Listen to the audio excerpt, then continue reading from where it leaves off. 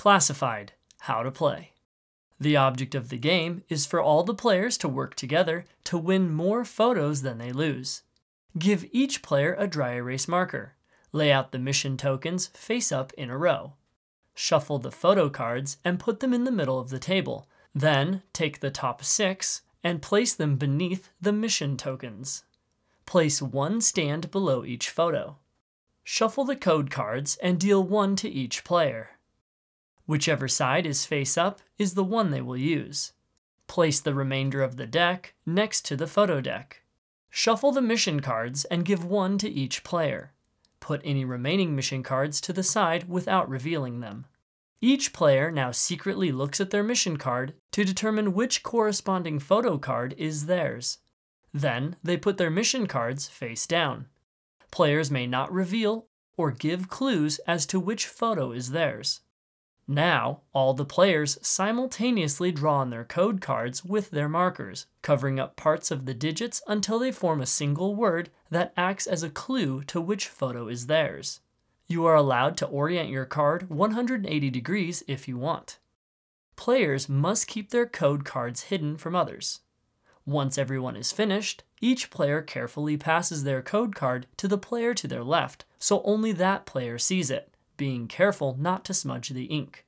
Now, all the players simultaneously look at the word on their card and discern which photo it belongs with. Once you decide, you place your code card face down below the photo with one end of it resting on the stand to keep the ink from smudging. Only one code card may be assigned to each photo, and once a code card is placed, it may not be moved. Once all the code cards have been placed, then, they are all flipped face up along with each player's mission card.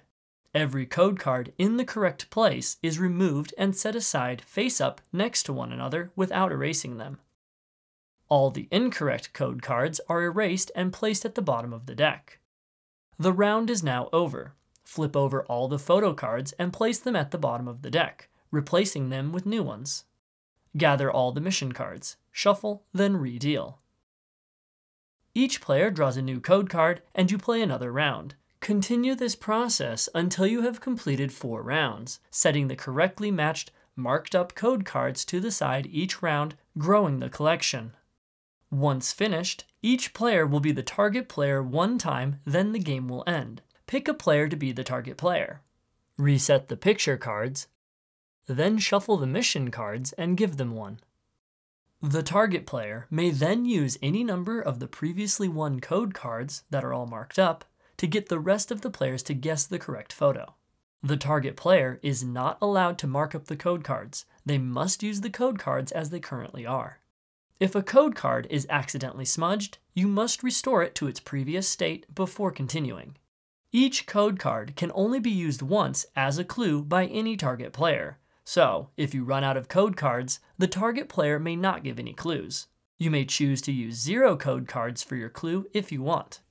Once the target player presents the clues, the players discuss and agree to the photo they think it is, and it is revealed. If correct, then collect the photo to the side in a win pile. If incorrect, then place the photo in a loss pile. Erase all the code cards that were used as clues, if any, and return them to the deck. Then, pick a new player to be the target player and play another round with the target player selecting code cards from the remaining amount. Continue this process until each player has been the target player once, then the game ends. If you have more photos in the win pile than the loss pile, then you all win. If it is a tie or less, then you all lose.